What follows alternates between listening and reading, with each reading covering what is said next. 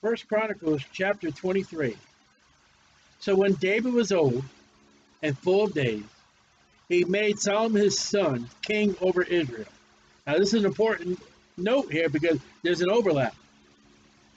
So when you say David wrote, reigned 40 years, and then you say Solomon ran 40 years, Solomon overlaps David. Now, does the times of 40 years for both, is it at this midpoint, or is David still a king kind of under Solomon, or Solomon's fully the king with his father? The overlap's important if you're going to date and time and year uh, the reigns of these kings. I mean, one thing, God does not really give us definite dates and years. We're not to be, you know, people time the, the rapture and the tribulation period. That's not to be so. And he gathered together all the princes of Israel, the rulers, the leaders, with the priests and the Levites. Now remember, all Levites are not priests, but all priests are Levites. That's the rule. Now the Levites were numbered from the age of 30 years and upward. That's the age that Jesus began his ministry. Uh, their numbers by their polls, so you say a poll count, counting the heads, man by man, no females, was 30 and 8,000 men over 30 years old, of which 20 and 4,000 were to set forward the work of the house of the Lord the bread, the offerings, the trimming the candles, the incense, the whatever needed to be done. And 6,000 were officers and judges. Now, notice who the officers and judges are. They are the Levites. The Levites were the ones, the children of Levi, that were under God. God never gave a possession of the inheritance of the land to the Levites. He says, I am your inheritance. So when a Levite would stand as judge in a court, I don't know if they would have a jury, but I would know that that priest, if he's right with God, would reach out to God and say, God, I, I don't know what the cause is. I don't know who is guilty and who's not guilty. It's just too hard for me. And when Moses had set up the legal system, he put off circuit courts, and Moses was the high.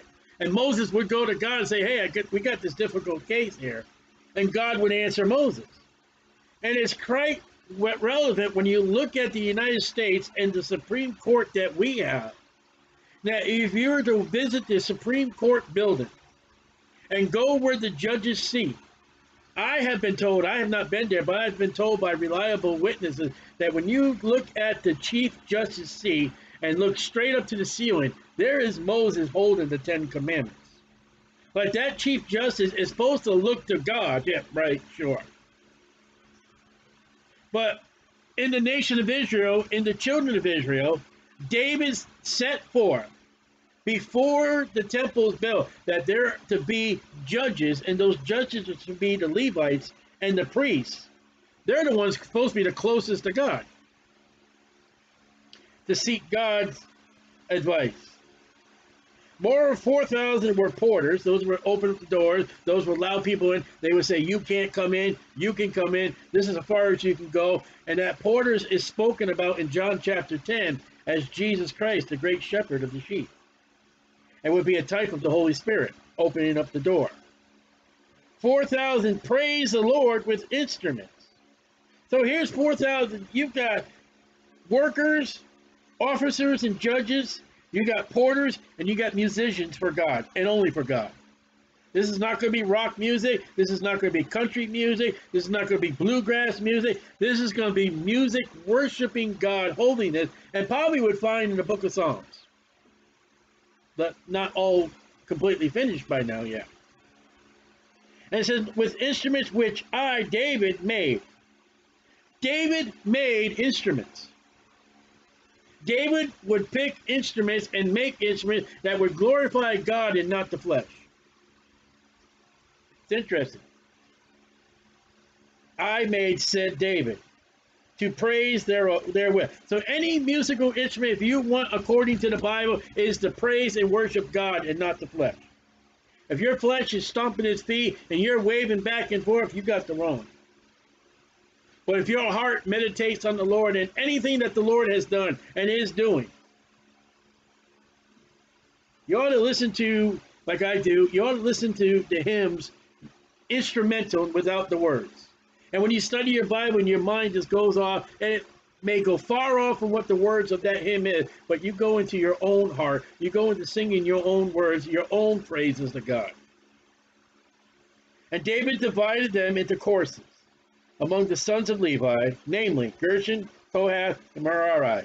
Those are the three sons of Levi. Of the Gershonites were Laadan and Shimei. The sons of Laadan, a chief was Jehiel, and Zetham, and Joel, three. The sons of Shimei, Shimei, Sheelith, and Haziel, Haranan, three. These were the chief of the fathers of Laadan. The sons of Shimei were Jahath, Zina, Jeris, Beriah. These four were the sons of Shimei. And Jahath was the chief, and Zahath the second. But Jehaz and Beriah had not many sons. Therefore they were in one reckoning, according to their father's house. So Jehaz and Beriah had not many sons. To grow the family, they came together as one unit. The sons of Kohath.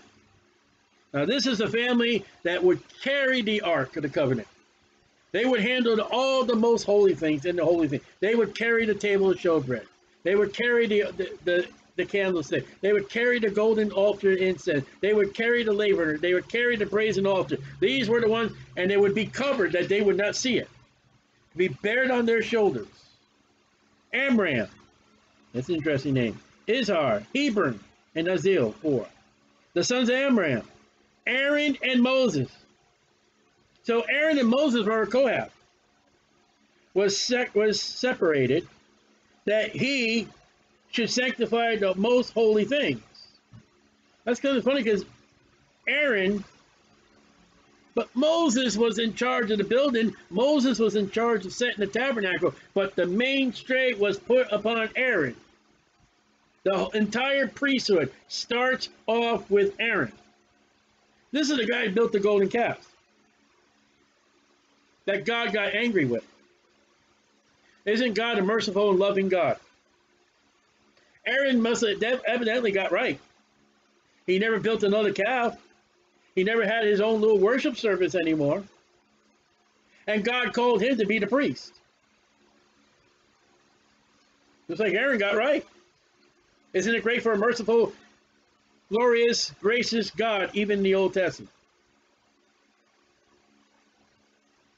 Was separate. Aaron was separated that he should sanctify. That means set apart. This is for God. That's for anything else. The most holy things. The most holy things would be the Ark of the Covenant, the mercy seat. That's the most holy. He and his sons forever to burn incense before the Lord. That would be in the most holy. That would be in the holy place.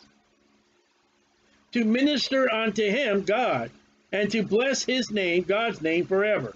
That was the charge of those priests, to glorify and magnify God. Now, concerning Moses, the man of God, his sons were named of the tribe of Levi. Well, he was a Levite. And the sons of Moses were Gershom and Eleazar. And the sons of Gershom, Shebuel was the chief. The sons of Eleazar were Rehabiah, the chief.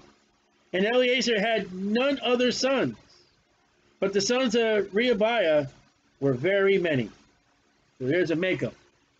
When a man has little or no sons, his name is not going to be carried forth no longer.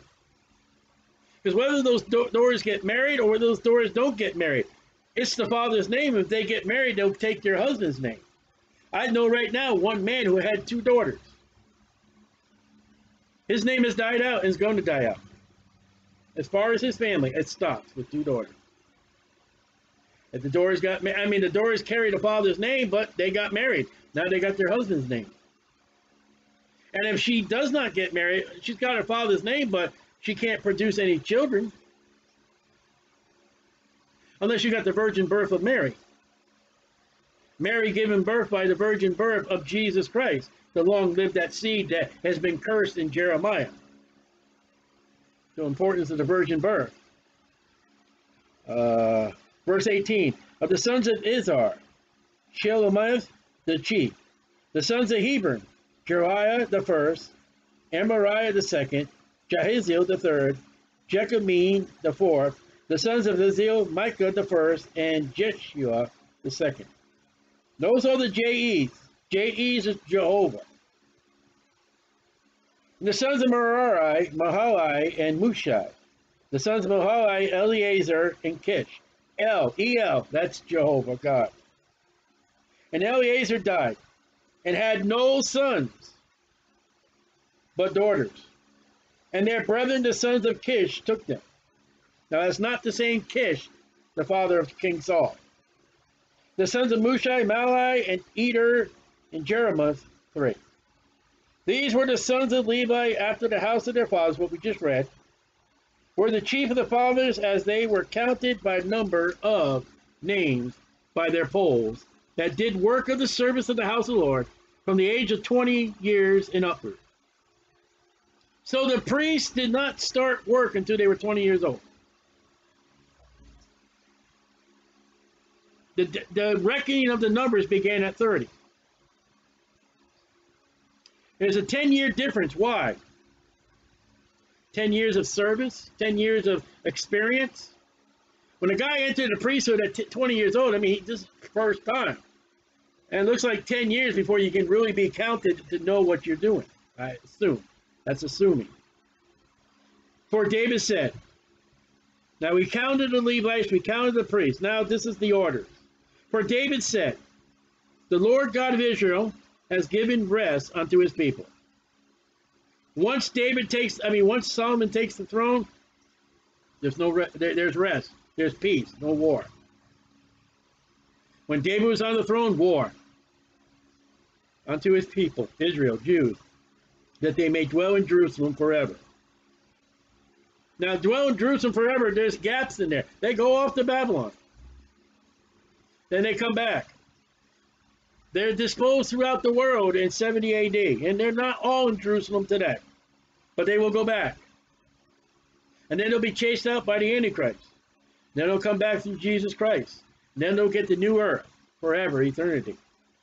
And also the Levites, they shall no more carry the tabernacle. That that's all that's the service of the three families. Every family had its job. Kohath had the carrying the utensils. There was one family, forget, they had the curtains and the, the linen. They had another family, they carried the boards and they carried this. And every one of those three families we had had a job. David's saying, you know what? And I don't want to make light of the word of God or the thing, is there'll be a day will be no more packing, no more moving. We're not going to put it up and, and move. We are going to establish a place where it will not move again. It's too bad that Israel and Judah sinned, and that this will be moved into Babylon, brought back during Ezra and Nehemiah, and then it's gone now. It's moved to heaven. But it rests on his people. He said, Unto the Levites they shall no more carry the tabernacle. There's going to be a time that that's it. Be no more cloud and no more fire. This is the place where the Lord said, I will set my name among the tribes of Israel. Nor any vessel of it for the service thereof. So David is going to instruct Solomon, and Solomon is going to build a permanent place, which doesn't happen. But that's the goal of David. David doesn't know what's going to happen in First Chronicles, Second Chronicles, Jeremiah. David has no idea. David's heart right now is we're going to build that temple. We're going to certify that temple, Solomon, and forever the Jews are going to be settled in this land, Solomon. And Solomon blows it in his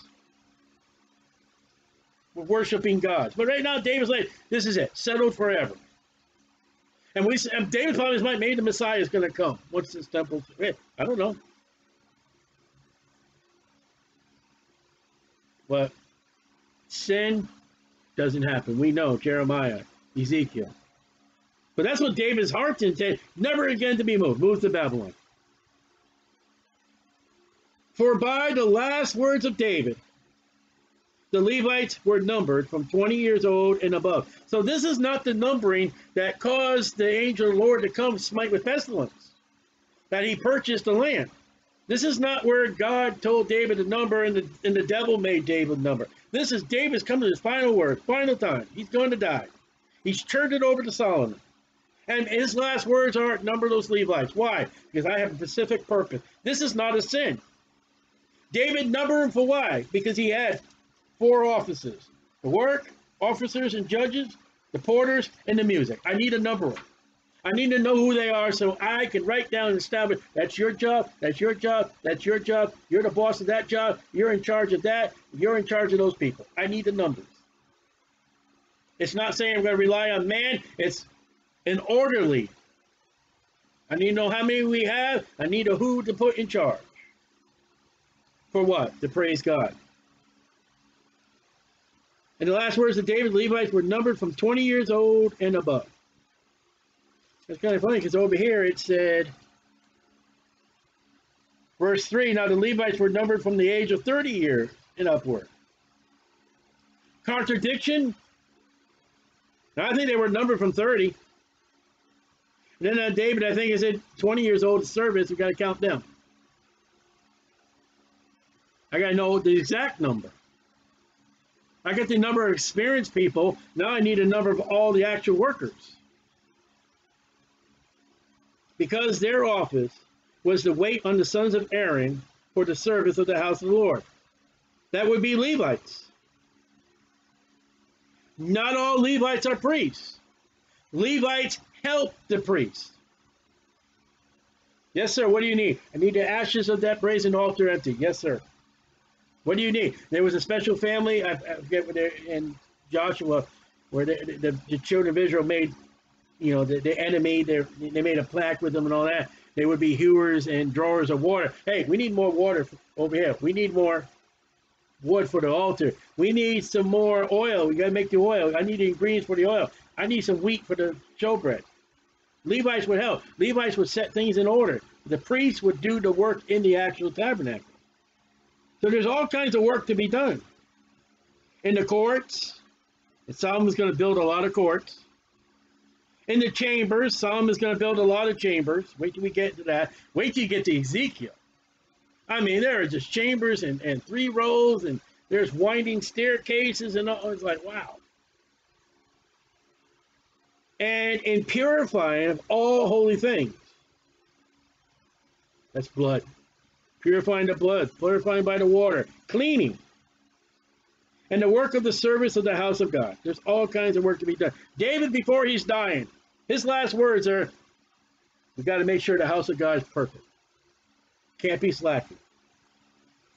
So here we go, both of the showbread. Someone's got to do the showbread. Someone's got to bake it. Someone's got to take it down. Somebody's got to make sure it's six and six. Somebody's got to make sure there's frankincense put on it. So we got to make sure it's done right.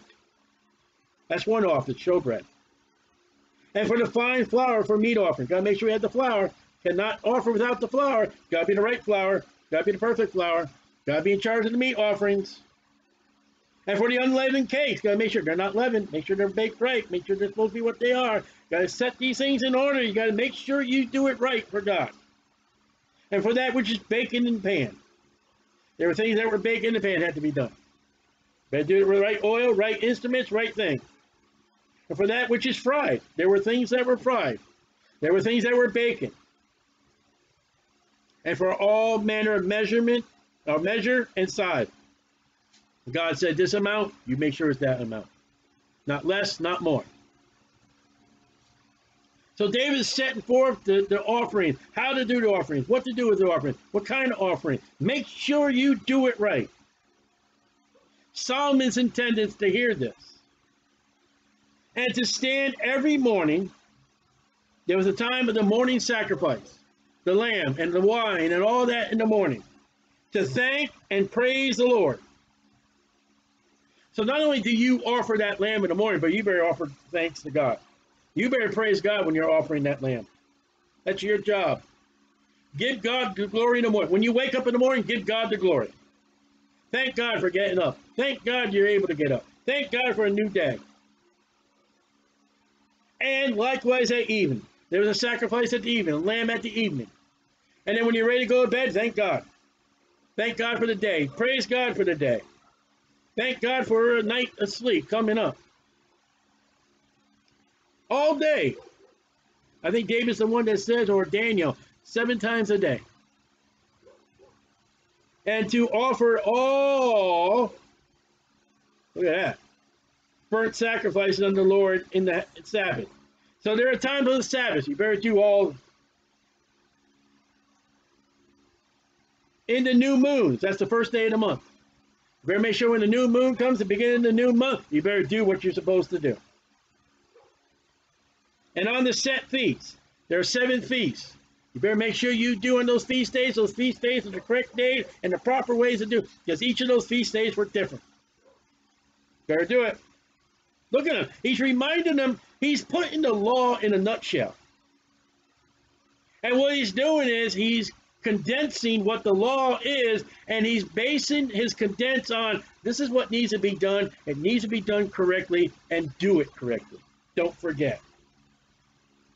According to the order, there's an orderly fashion commanded unto them, that would be the law to the Levites, continually before the Lord. Do it forever. Do it all the time.